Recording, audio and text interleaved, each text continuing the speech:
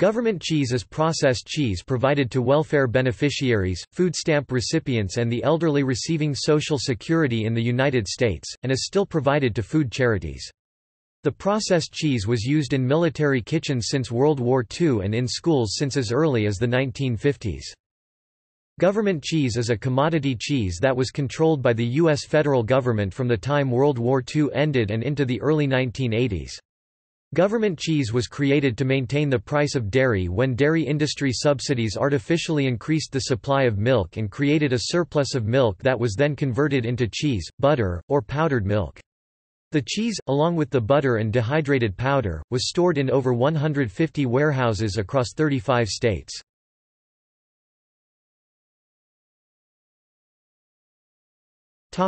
History and impact The cheese was bought and stored by the government's Commodity Credit Corporation.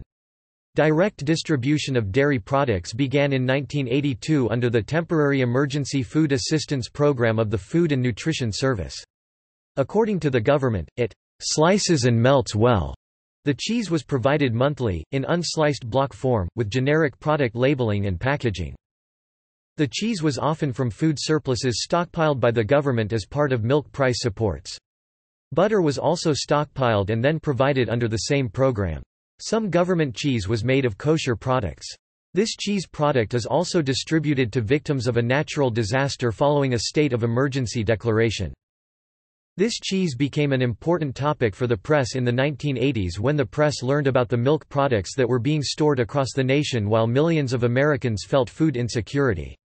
During the same time in the 1980s, President Ronald Reagan's administration cut the budget on the National Food Stamp Program in the United States. On December 22, 1981, President Ronald Reagan signed and authorized into law that 560 million pounds (250,000 metric tons) of cheese that the Commodity Credit Corporation (CCC) had been stockpiled should be released, saying that it will be distributed free to the needy by non-profit organizations. Ronald Reagan, in his official statement about the distribution of the cheese inventory of the Commodity Credit Corporation, said, "...the 1981 Farm Bill I signed today will slow the rise in price support levels, but even under this bill, surpluses will continue to pile up." A total of more than 560 million pounds of cheese has already been consigned to warehouses, so more distributions may be necessary as we continue our drive to root out waste in government and make the best possible use of our nation's resources. As the bill stated, any state that would ask for the cheese would get 30 million pounds 14,000 metric tons of it, in 5-pound blocks. The bill was approved in the House by a margin of two votes, in the Senate it had a much larger approval rate. The logic behind the distribution was to effectively remove waste and to use all possible resources available in the United States. One representative from the USDA remarked that, probably the cheapest and most practical thing would be to dump it in the ocean.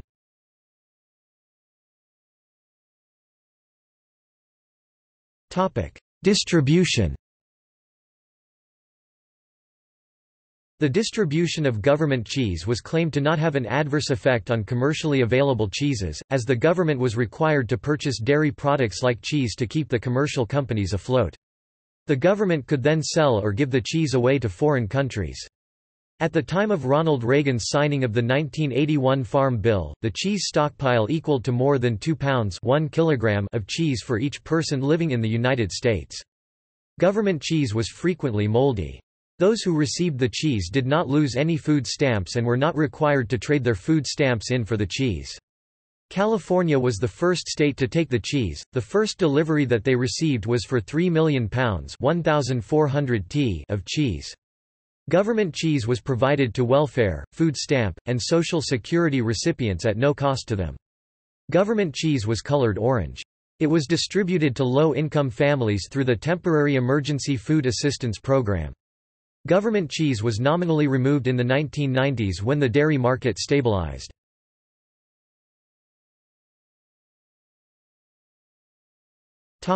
Ingredients Like traditional processed American cheese, it consists of a variety of cheese types and other ingredients such as emulsifiers blended together, and may be made of any of cheddar cheese, Colby cheese, cheese curd, or granular cheese.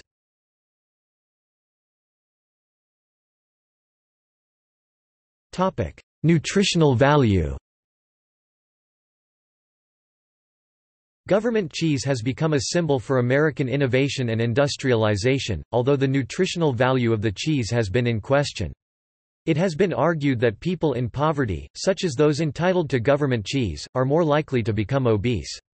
Between 1988 to 1994, those individuals below the poverty line had an obesity rate of 29.2%. The Food Security Act of 1985 the 1985 Farm Bill attempted to reduce milk production, but has been labeled as a hodgepodge of misdirected political compromise. The nutrition facts on government cheese suggests a serving size of 1 ounce 28 grams, or two slices, of cheese per serving. It also notes that the nutritional information represents the average nutritional value of processed American cheese, which was offered by the Commodity Food Program. Per serving, the total fat content is 9 grams, of which 6 grams are saturated fat. Per serving, there are 30 mg of cholesterol and 380 mg of sodium.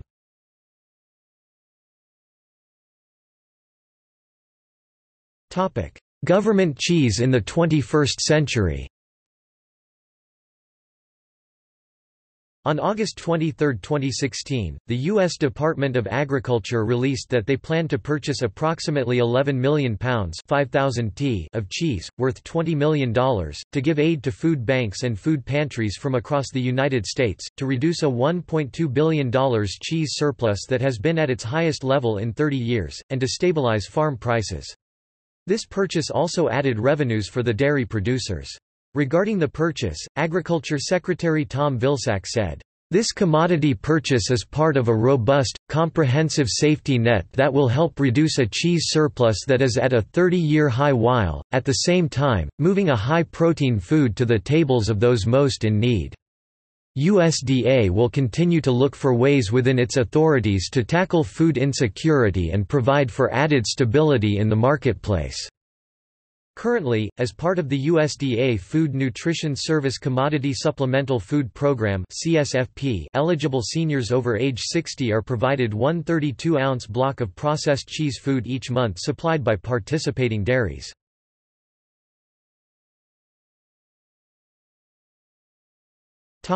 See also